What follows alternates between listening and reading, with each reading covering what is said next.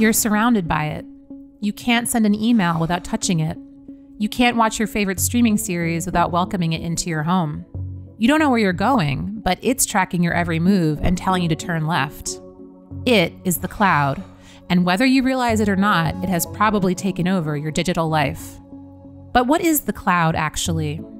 The cloud is a system of millions of hard drives, computer servers, signal routers, and fiber optic cables. These elements are, in a way, like the water droplets, ice crystals, and aerosols that make up a true cloud. They are nebulous, they are constantly shifting, but they are in close connection with one another over large distances of space and time. The cloud's true purpose is to float unseen all around us silently, creating ever present connectivity. And just like a real cloud, it can bring benefits and danger. The cloud is making services more affordable and accessible to people all over the world. It helps businesses update products for their customers and enables remote work across industries. But it also opens us up to behavior tracking at each and every website we visit. It can put our virtual privacy in the hands of tech giants. And should the cloud ever fail, our increasing, mostly unknowing dependency on it will become painfully clear. To understand why, let's take a step back to the early days of the Cold War with the Soviet Union.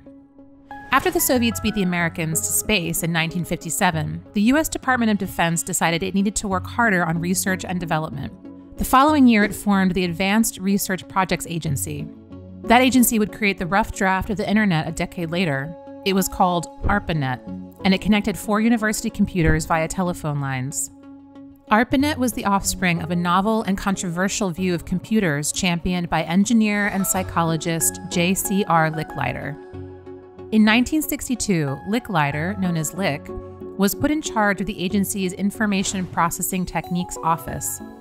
And with his budget, he advanced a view of these machines that was very different from that of his peers. Lick didn't believe in building new computers for every project.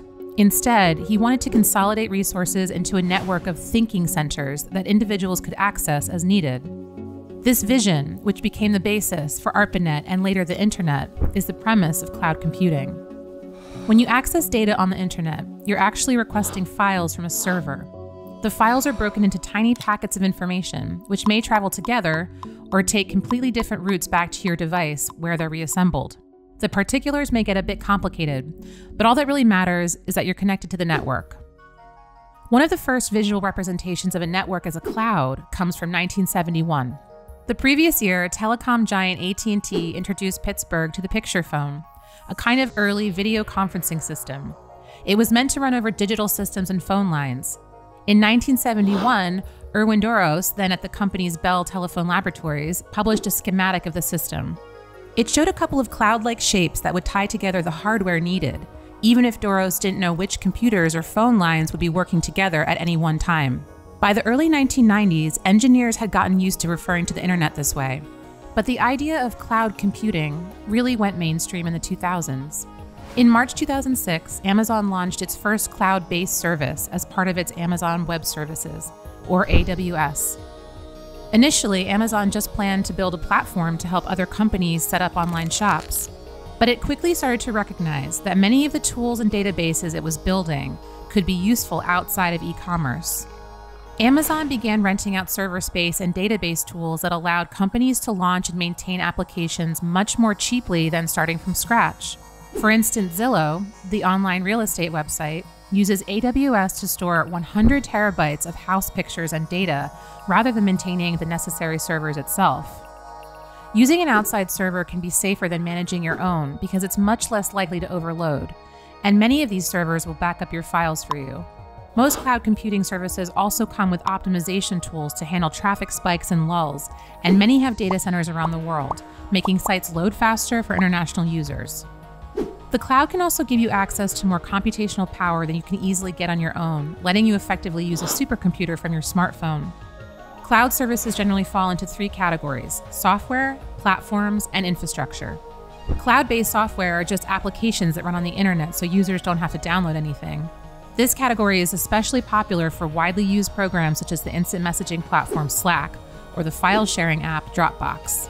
Cloud platforms, like Google's App Engine, are digital environments that developers build their software to run on. Cloud infrastructure provides server space that a customer manages remotely. Consolidating the digital world into a few powerful servers is extremely efficient, and the cloud brings us unprecedented connectivity. It's the basis for the Internet of Things, in which embedded sensors connect physical objects such as farm vehicles or building thermostats to the Internet. Once connected to the cloud, all of these things can act autonomously, doing work for us without human intervention. But while the cloud can make our jobs more efficient and our lives more flexible, we pay for these privileges with our data and security. With every action we take online, we hand personal information to companies trying to maximize how much they can profit on us. Many websites and apps regularly track our digital movements and sell those data to marketers. Cloud service providers can also collect data from applications built on their servers. This is often done to monitor efficiency, but some worry the data could be abused. As we connect more of our daily lives to the cloud, we become reliant on a network that controls everything from who we meet on dating apps to whether our credit cards work. We also lose sight of how fragile the system is. The cloud only exists because of physical parts, such as paper thin fiber optic wires that are easily damaged and degrade over time. And when software issues from a company you've never heard of can knock huge chunks of the internet offline, it's hard not to wonder if we've made a bad bargain.